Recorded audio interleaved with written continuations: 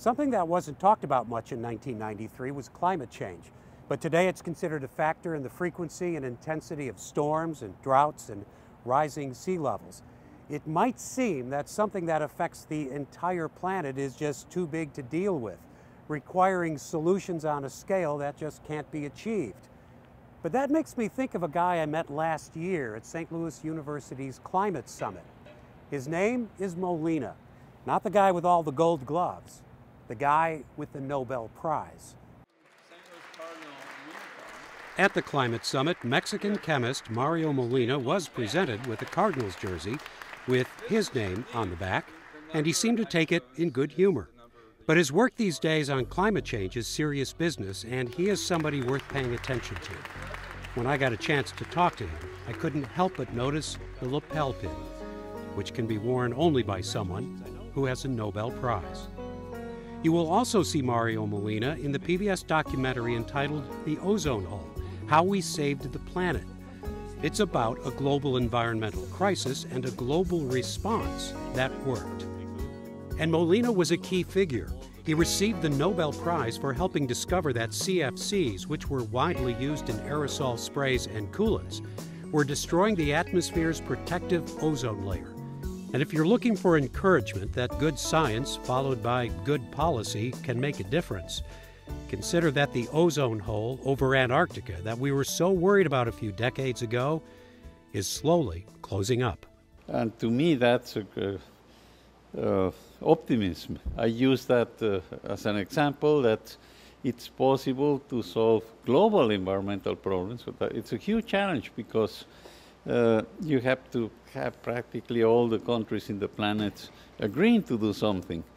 And it, that happened already. It can be done. It has been done already once. Uh, were people doubtful when you be first began to expose what was happening? Did they say, gosh, this is too big, we can't do anything about it? Yes. It, uh, in fact, the, the, the, first reactions were the opposite. This is too small, we shouldn't worry about it. like CO2. Some people like say that, that, about CO2. That's right. So you have all sorts of responses. But then eventually it became clear that uh, we all had to work together.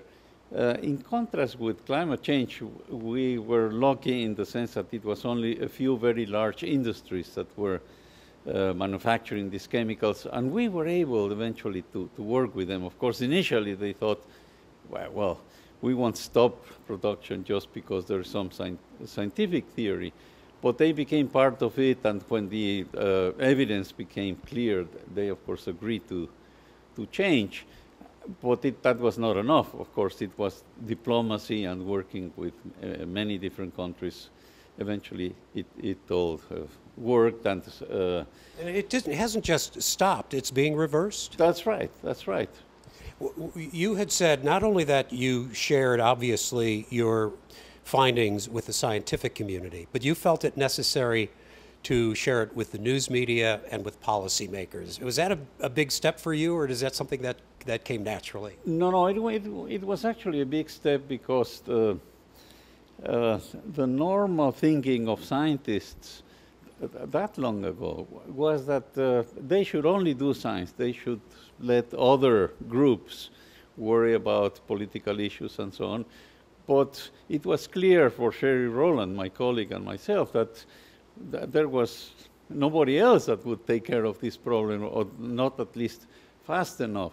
So we convinced ourselves that it was uh, our responsibility to really communicate this not just to other scientists but to society as well. Things have changed now because there are uh, environmental organizations and there are groups that do these sort of things. What hasn't changed though is that it's still very important for the scientific community to participate actively and to make sure that uh, uh science doesn't tell us what to do, but science tells us what happens depending on what society does. And so it's very important for science to keep its place and for the scientific community to, to be involved. It's very important to communicate everything that we're talking about here to society.